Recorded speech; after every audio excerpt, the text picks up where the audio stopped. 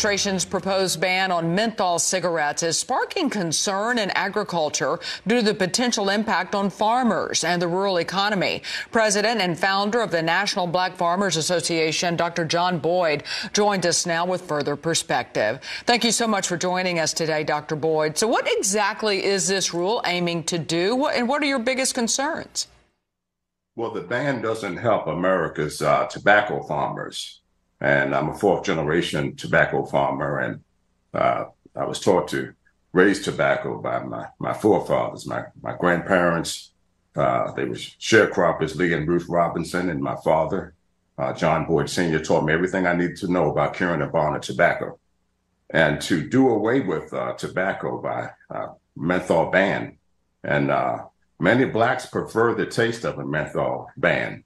So, what do farmers do with the equipment that that they're being put out of business. Uh, you can't do anything with a t- tobacco curing barn, but cure tobacco with it. You can't use uh, uh, uh, tobacco harvesters only to to harvest tobacco.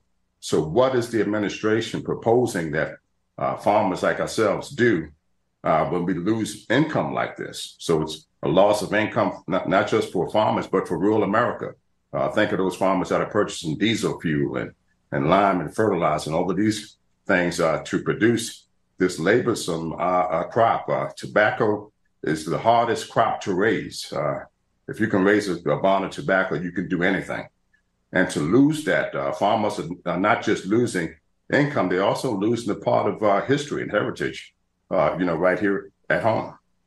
Right. And of course, I believe you're in Virginia, and I know states like Kentucky and North Carolina still heavy into growing tobacco. And you talked a little bit about the ripple effects because you've got barns, you've got equipment, and things that might be impacted if this ban goes through. So, talk a little more about the effects of, uh, you know, kind of where all it reaches if this passes.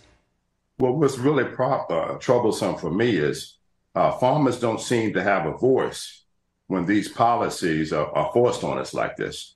Uh, so where's the input from America's farmers? Uh, you know, has anybody sat down with the farmers to say, hey, what do you guys think about this proposed ban and how will it affect your, your farming operation?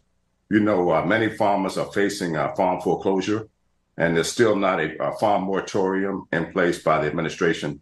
And I've reached out to the president about uh, putting a farm moratorium in place that would stop farm foreclosures and direct loans and guaranteed loans and other agricultural lenders. That's still not in place, and we're still losing our farms. We have China who wants to buy uh, uh America's farmland. We have uh, Bill Gates who's uh, uh buying American farmland and wants us uh, to buy into the idea of having fake meat.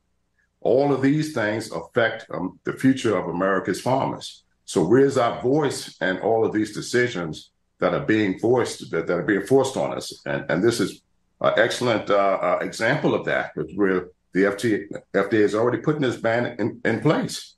And we haven't had a voice in it. Uh, they haven't asked us how it affects us, how it affects our family.